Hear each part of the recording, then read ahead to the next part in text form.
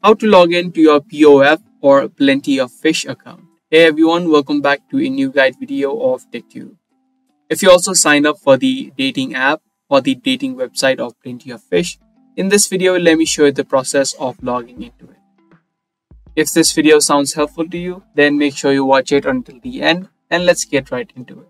In the search bar of your web browser, search for pof.com and it's gonna take you to the website of Plenty of Fish.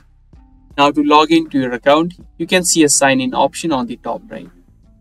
You can click on this option and it is going to take you to the login section.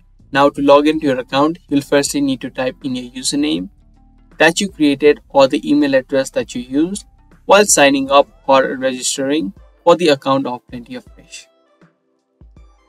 Once you type in your username or your email address, in the second box, you need to type in the password. If you don't remember the password that you created, click on the forgot password link. And to recover your password, you'll need to again type in your email address.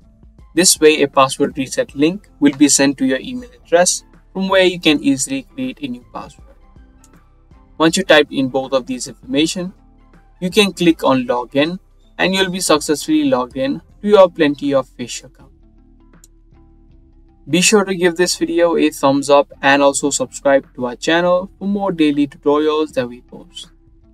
That's pretty much it for today's video. Thanks for watching.